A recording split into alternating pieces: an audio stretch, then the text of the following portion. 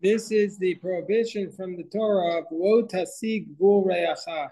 Do not move back the boundaries of your friend benachatcha. What's the rishonim, which the early ones had marked out.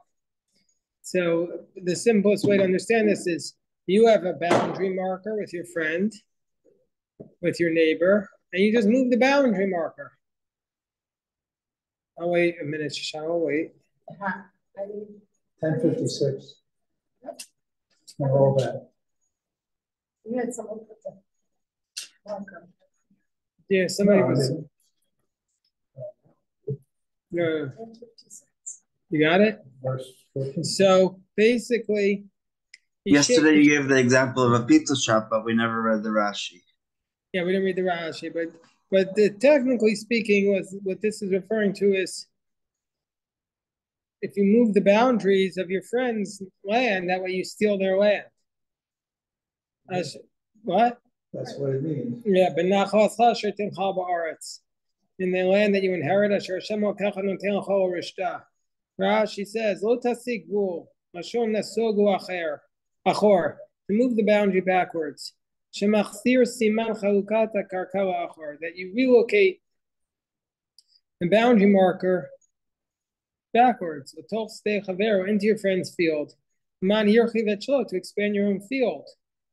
So that's a simple explanation. But Rashi says, but doesn't it already say tigzol?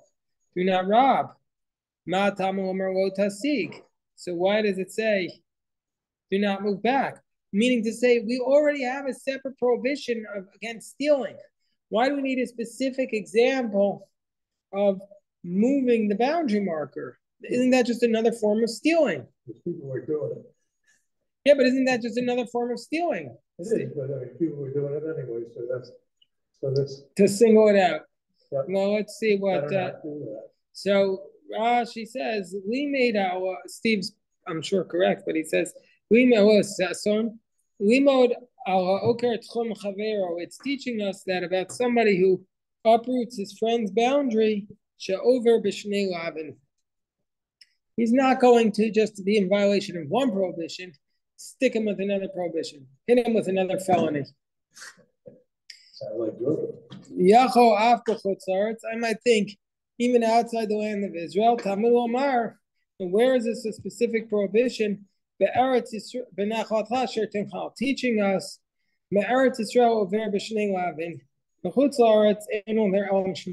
So in the land of Israel, you're going to be in violation of two prohibitions for moving the boundary marker. But outside, you're only in violation of one prohibition. Outside of Israel, you're only in violation of the prohibition of do not steal.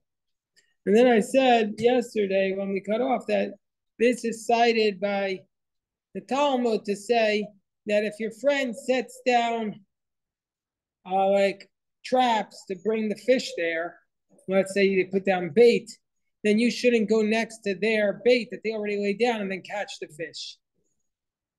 So that's the concept. That's the concept that you can't benefit from what somebody else has done and then just piggyback off of it without doing something. Well, you know, the thing that comes to mind is the famous local area kosher establishments Yeah. that we've had. And that's the other side of it is when is competition allowed? And, you know, had, these people have laid the groundwork for this to be a kosher area. You know, Right. different things, they offer different products, but at one point there were two butchers right next to each other. In DC, No, in in Maryland. Yeah, yeah. now, You know, of course. So the point is that that's a uh, certainly a concept that uh, is selectively enforced in uh, the kashrut agencies, saying, "Oh, we can't give you a kosher supervision because you're right next to another place we certify, and if we have two pizza stores." Neither one will survive. They both go out of business. This guy was attracting the people first, and now you're going to take away his livelihood. So that always gets everybody upset because everybody else is sick of the first guy's pizza because they've been eating it for 15 years and they want a new flavor. So it gets everybody worked up and people uh, get worked up and then they say, oh, this rabbi's related to the guy who owns the pizza store. That's why he doesn't mind. It's his brother-in-law and it gets all dirty and Sounds like something you know. I'm just saying that this is the classic case. It happens in a lot of communities and it's it's really hard to justify because I, I've never seen like when two stores open up that all of a sudden they take away business from the first store. Really, what happens when two stores open up is there's just plenty to go around and it makes build a stronger community. Like more people go, everybody gets excited about it. So Is I'm this the source for yeah, this stuff? is the, this is the source for it. Like I've never been sympathetic to the idea that you can't open up another establishment because it will drive away the business from the first guy, and the first guy will go out of business. Well, first of all, the first guy shouldn't go out of business if he does a better job. Let him just do a better job, make better pizza, and then everybody will want to go. And uh, you can't like force people to just buy from one store. It's in today's world. There's everybody's traveling. It's not like we're in a shtetl where nobody else comes in. You know, especially in a city like Washington or New York, where you have so many people ordering. So I'm not sympathetic to that argument, but but uh, that's this is the source for it. I'm not sympathetic that it applies to the restaurants. Is my point. Yes, Mr. Schechtman. uh, your uh, argument uh, against this, because in big cities uh, there are, there's a lot of Jews and they could support both stores, but go to a little town somewhere where there's just a handful of Jews and they're interested in uh, kosher food, and there's one Jewish butcher or, or grocery store. There, in that case, uh, what the Torah is saying uh, applies. Uh, you'll drive, uh, ne- both of them will go down the the bathtub uh, uh, drain uh, if both of them open up in a small Jewish community in a small town. Yeah, I don't think that there are small Jewish communities today that have butchers. It just doesn't exist. Like all all the butchers today. Yeah, I'm sorry. What were we gonna say? It just seems to me that then you're consigning your small community to the lesser of the guys. The guy makes bad pizza, but he was there first. And you won't let the better guy open up. You're just saying to the people, no choice for you. For sure, it's difficult. And also today, I remember when um here's Jerry, you know, I, I this stuck with me. Me, I'm so I hope I don't offend anyone, but I remember when uh Bill Clinton was running for office. I think he did NAFTA. I think he did NAFTA. And he was and he was in like a town hall meeting in Michigan. And the guy says, you know, uh, he said, well, now I have to compete. I don't, I might be a little bit wrong about the example, but he said, now I have to compete against all these people. They're bringing in the, uh, into my area, into my town, and I, how can I compete against their prices? And his answer was, well, now you use the technology. Don't just be delivering to the people who are across the street from you. You ship all over the world. That's what this technology is enabling to do. You could ship to everyone. So the point is, I would suggest to that pizza store or to that butcher shop that today's economy and today's marketplace is is so much broader than one small neighborhood. That we have shipping abilities, we have abilities through the internet. A lot of times, like I sometimes get meat delivered from Brooklyn, frozen meat. So where's the Hasagas school there? You could be all over the world and you could access, you could get next day delivery from Brooklyn. So even if you're in, let's say, a town like, uh, you know, um, I don't know, a small town anymore that has their own butcher shop. I don't even think they do for this reason.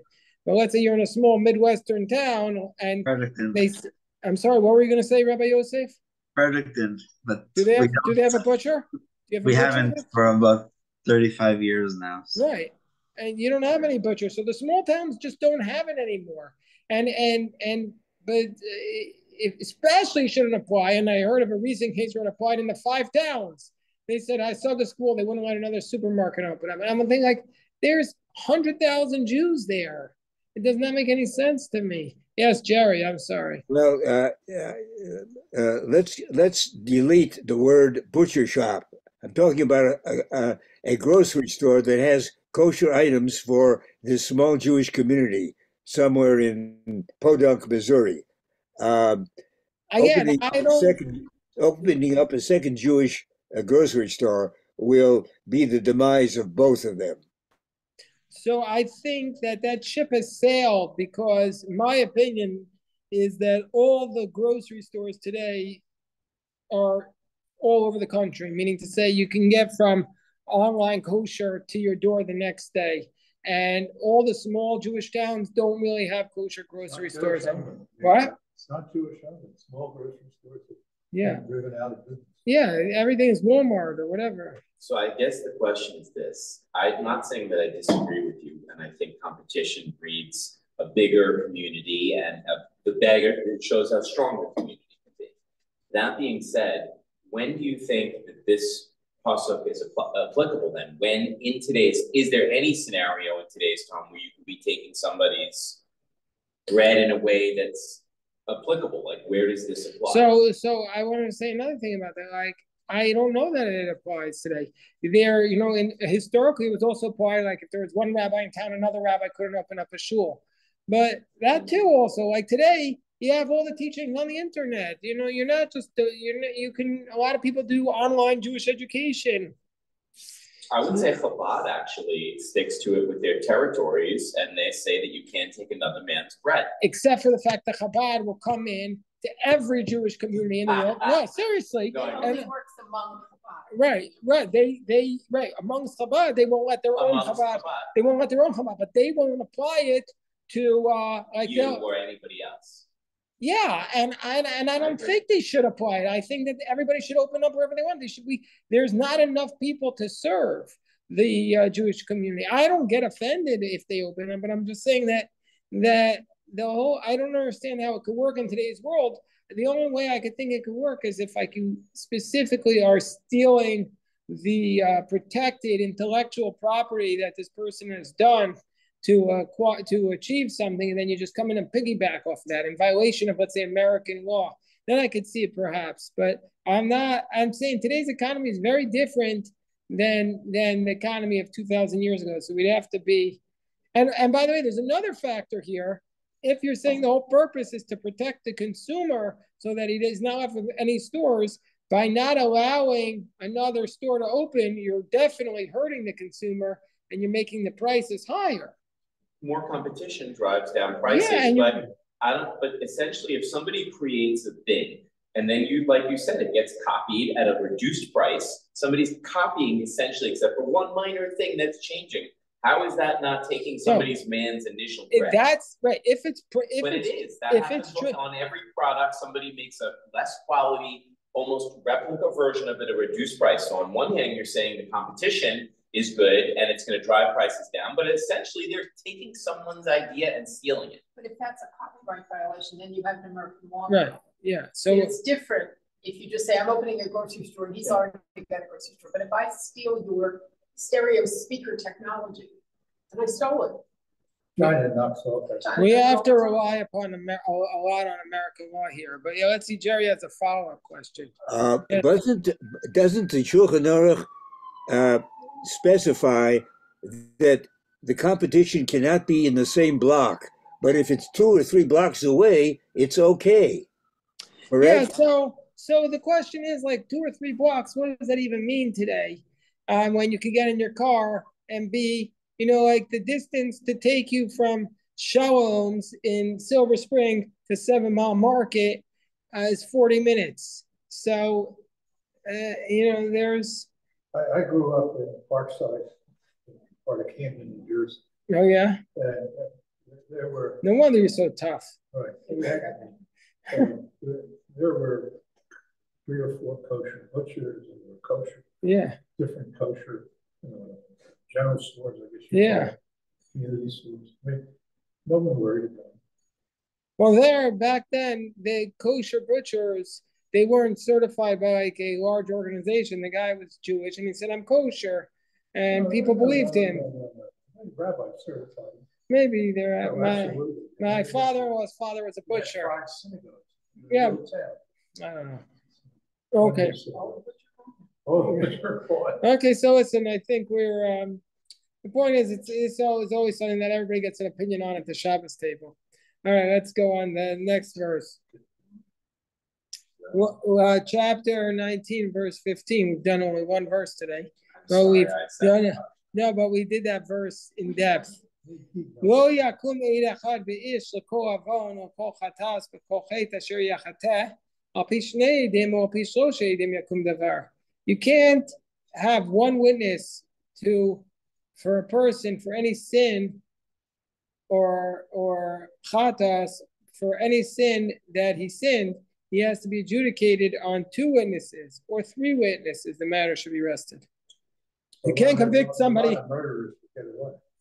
can't convict somebody on the basis of one witness.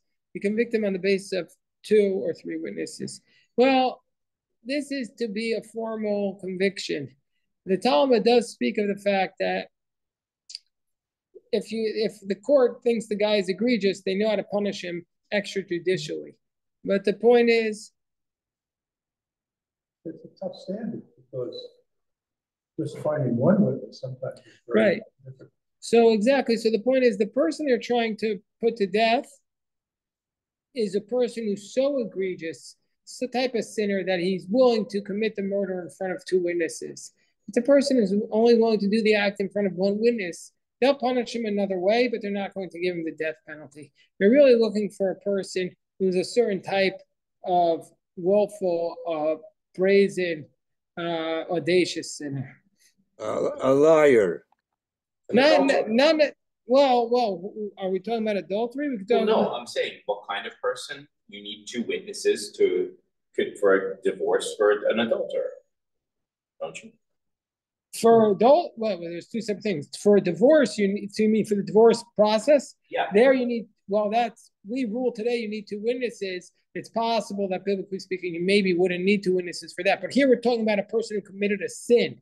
So, so I was referring to like the paradigm of like a murder or like somebody who did like that type of action.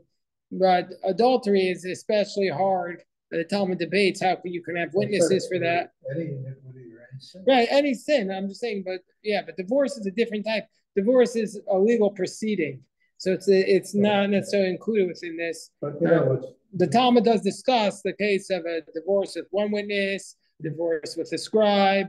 Um, so the Talmud does discuss that. Uh, we just finished it, 89 pages of Tractate Gittin. Yeah, so Steve, I cut you off. that's right. So the Talmud says, "Eid echad zeh bana'av kol eid shebetorah shnayim elam par bo echad." It, it tells us that every time it says witness in the Torah, it refers to two, unless the Torah specifically says one. There is a classic case of one witness where one witness is believed. Where do we believe one witness? We believe one witness classically in ca- cases of Issur Veheter to say something is kosher or not. We believe the person. We believe a woman says, You come into my house, I'll give you a meal, and I'm serving you kosher food. Well, how do we know to believe her? How do we know she's not serving pork? So we say that one witness is believed. Also, classically, even though Even though Rashi doesn't connect them, it's exactly what you just talked about about the previous verse. That one witness is, is enough. Right, and, and then the other case is we just we had this on the Talmud recently that if one witness comes from overseas and says that this man has died, we believe him. We believe that one witness, and the reason is because the uh, the consequences of being wrong are so great that we believe that the wife who wants to remarry won't remarry unless she checks it, unless she checks it. okay. She Av Koi Shnayim Elam came Uchabo Echad. Mako Avon Chatas. Says, Chaveron For his friend to be punished for his testimony. So one witness, Rashi tells us, you can't punish him physically or monetarily, but a, a, witness can force you to have to take an oath.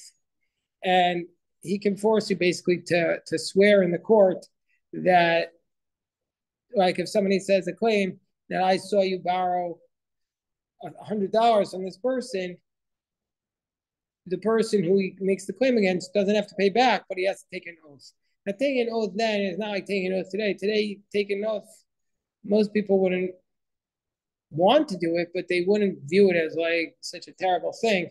I the way I think about it in my mind is like having discovery rule that you have to be open to discovery in a trial. And people want to avoid that at all costs. So this is like an oath. People want to avoid an oath at all costs because you take an oath, you have to go into with a Torah scroll, often into a cemetery in the middle of the night. They say if you swear falsely by God's name, you're going straight to hell. We're going to give you slashes. I mean, people really were were terribly frightened about taking an oath. So that's the concept here. One oath could force you to do that. And Rashi gives the example. Amar Chaveri says to his friend, Teli mana Give me the money that I lent you. Amar lo He says, actually, I have nothing. One witness testifies, He has to pay him. Okay. Al shnei edim, be'ageretz. So Rashi says this teaches us that the testimony has to be oral. You can't have written testimony. They can't send it to the court, and also they can't have an interpreter. It has to be oral testimony before the judges. So if it says two witnesses, why does it say three witnesses? If you could do it on the basis of two, then why do you need three? Rashi does not address that here. But we know this from the Talmud that the Talmud tells us is to teach us that two is equivalent of three. If one party brings forth three witnesses and the other party brings forth two witnesses to his case, you might have thought, okay, we'll believe the one who has three witnesses over the one who has two witnesses. We say, no, no, no. We, we view each one, we view two versus three as the same as two versus two, and two versus a hundred as the same as, as two versus two. So even if one person brings a hundred witnesses, the Torah has advanced this idea, this powerful notion of uh, al edim yakum davar, on the base of two witnesses. So, but now we have the case of of what is called edim zomamin. This is a big, big, big chiddush that the Torah creates. So let me just give you an introduction to this idea. If let's say Reuven and Shimon are the witnesses, and they testify that Levi is murdered. And then they testify that Levi murdered somebody. And then uh,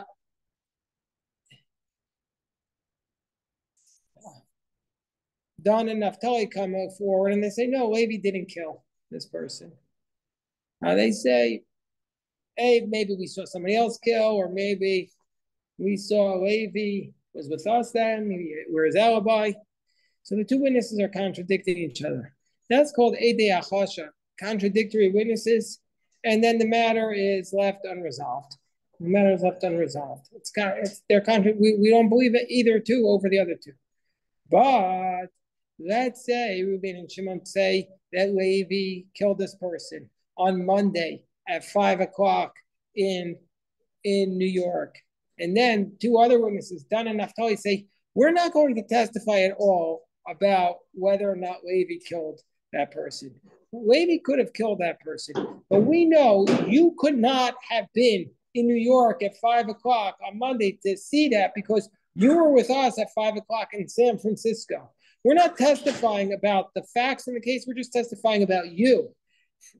We're testifying Imanu Ayisem, uh, the Makom Ploni, that you were with us in a different place. Well, if that's the case, that's what's called Adim Zomim. And, and the Torah says in this case, we believe the latter two witnesses over the former two witnesses, and we do to the first two witnesses exactly like they plotted to do. Kasher Zamam So if they tried to get Levi killed, then they are the ones who get killed. And this is what's called a Chiddush, because why should we believe the last two over the former two?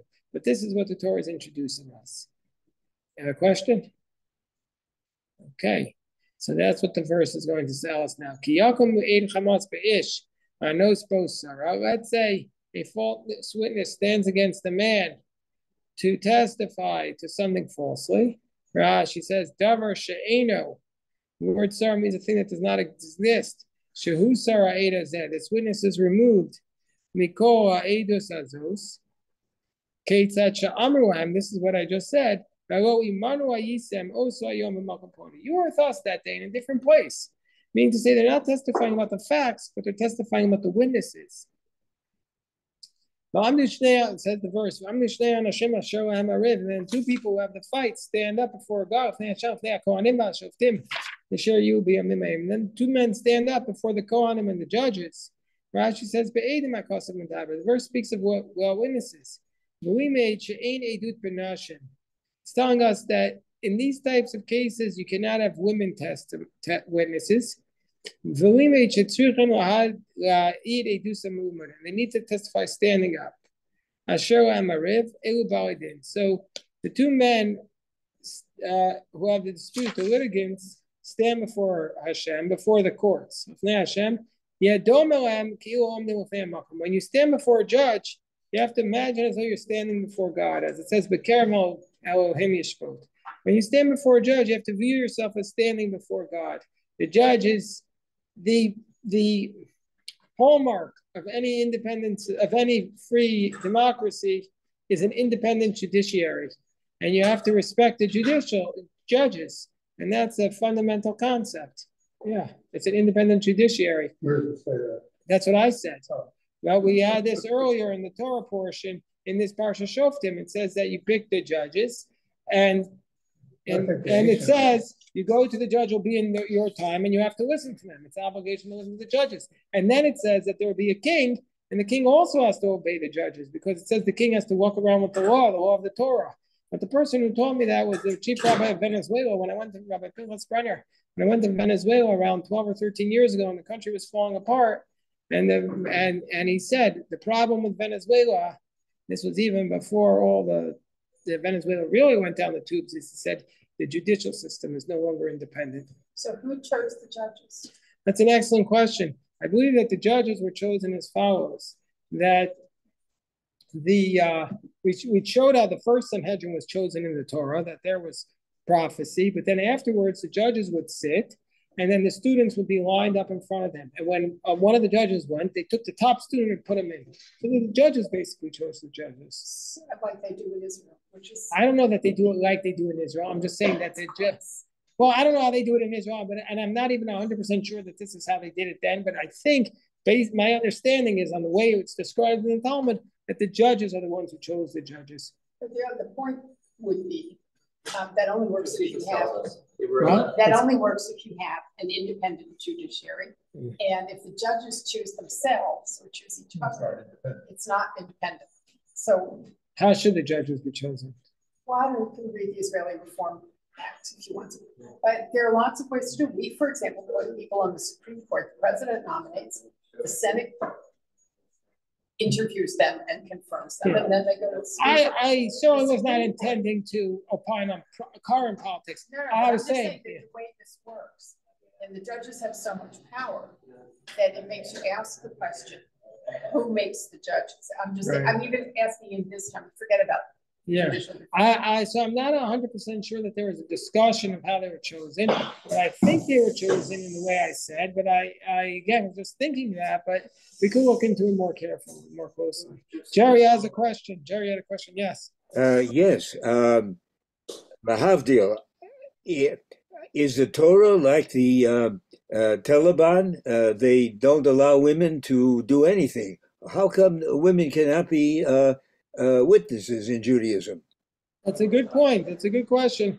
How come the women are not able to be witnesses? And this is uh it's it's what the verse says. You're right. The Torah certainly in the times of the Torah was not egalitarian. Rabbi, Not can I answer that based on actual modern TV? The, I, by all means, Rabbi Yosef. the answer I always uh, we have to end, but the answer I always give is that um, there's a show called House of Payne of Halle Perry, and there's this woman that um, is going to basically take care of kids of another woman. The other woman was deemed by the court uh, unstable, and now she's claiming for custody. And so the lawyer, her lawyer, comes to their house to prepare her for the for the court, and he makes her cry, and she says, "Why are you doing this to me?" And she says, and he says, "Because this is what the defense lawyer of the other woman is going to do to you tomorrow." And basically, we respect women so much that we don't want them to have to be cross-examined and and and be subject to such scrutiny. Uh, like we call it modern, but it's really not modern. The Maimonides Yeah, actually says I, that I a feel woman is like, only witness, she doesn't have to go to, even for murder, she doesn't have to go to court because because we don't want her to be embarrassed like that. Shoshana We does not approve. Shoshana does not approve because that seems a little bit apologetics. The bottom line is it's a verse. I mean, your answer we can discuss more tomorrow, but it's a bit some there are verses in the Torah, there are certain laws, and and practically speaking, practically speaking, um, I think actually most rabbinic courts today will accept women as witnesses as it relates to monetary matters, etc. So uh, I, the answer is we need to discuss more and we need to daven. I. We have